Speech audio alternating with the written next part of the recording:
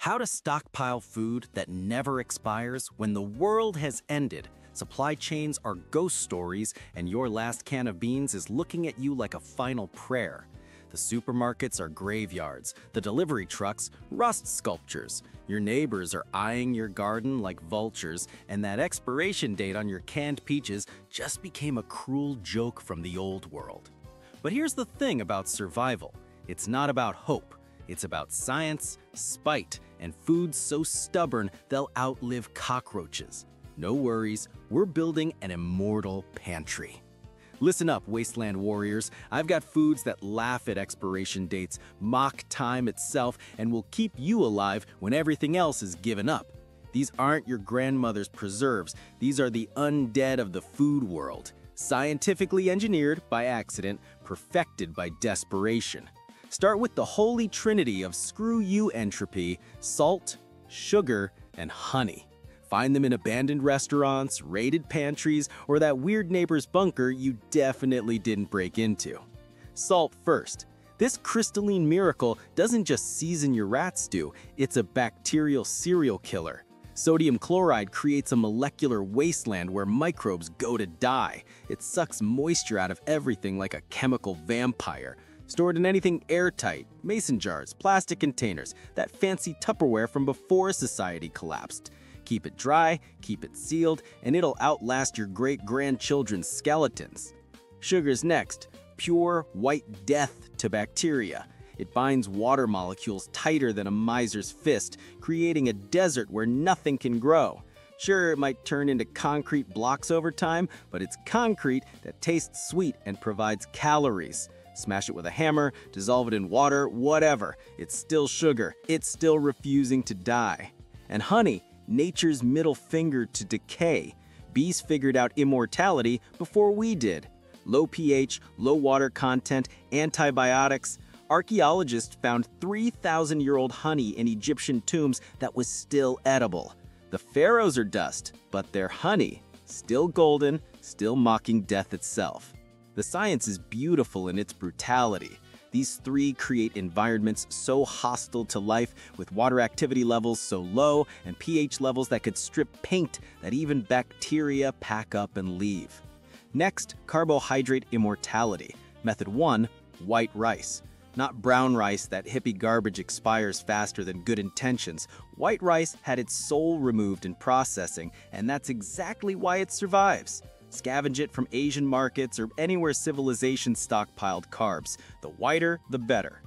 Those natural oils that make brown rice healthy, they're also what makes it rot.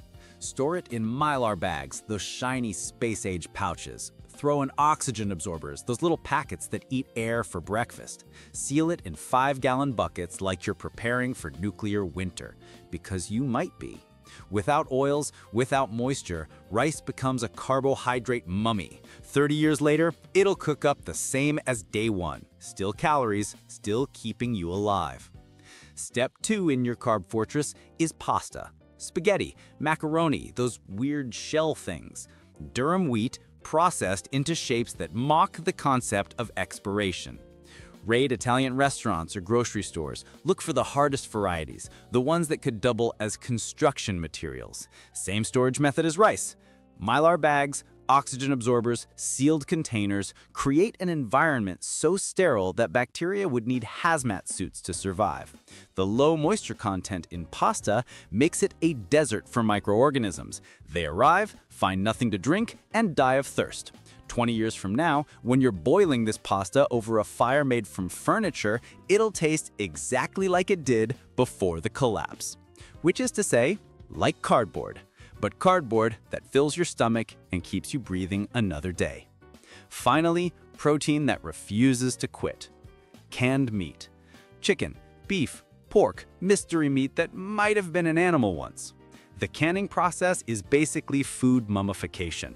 Hunt through abandoned stores, military surplus. Look for cans without dents, bulges, or that ominous hissing sound that means botulism is throwing a party inside. Your nose is your best friend here. If it smells like death, it probably is. The science is medieval in its effectiveness. High heat kills everything that wants to kill you. Airtight seals keep new threats out. No oxygen means no spoilage. Just protein, suspended in time, waiting for your can opener. That can opener isn't just a tool, it's a key. A key to another day, another meal, another sunrise. You're not just stockpiling food, you're stockpiling time. You're building a fortress against oblivion. One can, one grain, one crystal of salt. This isn't about hoping you'll survive. It's about ensuring you will. Let's continue with the next food, dried beans, the prepper's best friend. This is your third method for long-term survival. We're talking kidney beans, black beans, pinto beans, beans that look like tiny rocks and, let's be honest, taste about the same. But these are rocks that provide protein, fiber, and the sheer will to live another day. Scavenge them from health food stores, Mexican markets, anywhere people understood that beans are basically edible insurance policies. You want the hardest, driest specimens, the ones that sound like gravel when you shake the container. The storage is the same protocol we always use. Mylar bags, oxygen absorbers, sealed containers. You are creating a tomb so perfect that even time gets confused and leaves it alone. Properly dried beans have a moisture content lower than most deserts. Any bacteria that show up find absolutely nothing to sustain them, and they give up, just like everyone else will. The cellular structure of these things is a fortress. Thick cell walls, minimal water, natural compounds that tell microorganisms to find somewhere else to party. 30 years from now, they'll still cook up into something resembling food. Next, canned fruits and vegetables, vitamins in armor. This is for when you desperately need vitamins and your body is threatening to develop scurvy. Think peaches, corn, green beans, tomatoes that have a distant memory of what sunlight felt like. The same canning science that preserves meat works here. High heat sterilization, airtight seals, an environment more hostile than a tax audit. Those best by dates, they're just gentle suggestions from a world that believed in expiration dates. Ignore them. Trust the science. Yeah, the texture might be mushy, the color might be questionable, but vitamins are vitamins, and scurvy is still scurvy.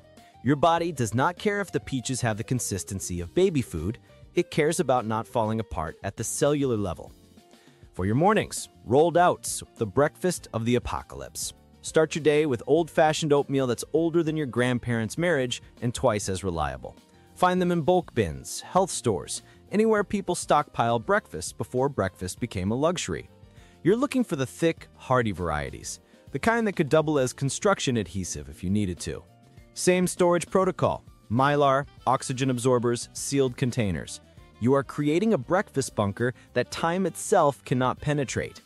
Oats are just grass seeds that learn to be useful, low moisture, high fiber, and stubborn enough to survive a nuclear winter. The natural oils are minimal. What little moisture exists gets vacuumed up by your oxygen absorbers. What you're left with is basically edible cardboard that provides sustained energy and, more importantly, the illusion of civilization. Now, for when you miss the concept of dairy, powdered milk, dairy's ghost. Let's be clear, it's not milk. It's the memory of milk preserved in powdered form like cremated calcium. Scavenge it from restaurant supplies or camping stores. Look for a whole milk powder if you can find it. More fat content means more calories, which means more reasons to keep breathing. Store it like everything else, but be extra paranoid about moisture. Powdered milk and humidity are mortal enemies. One drop of water and your dairy powder becomes dairy concrete. Keep it drier than your sense of humor. 20 years from now, you'll mix it with whatever water you can find. It won't taste like milk, it'll taste like disappointment with a side of calcium but your bones will thank you, assuming you still have bones.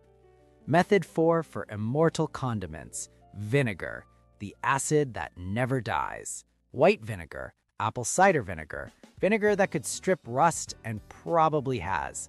Acetic acid doesn't just preserve food, it is preservation.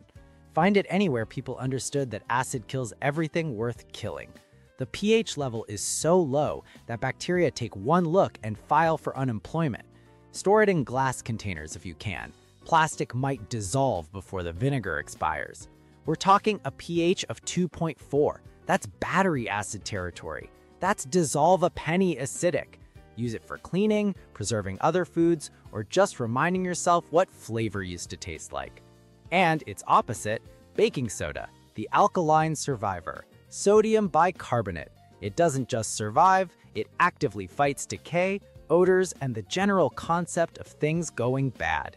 Stockpile it from anywhere people baked or cleaned. Store it in airtight containers because it will absorb every odor in a 50 mile radius if you let it.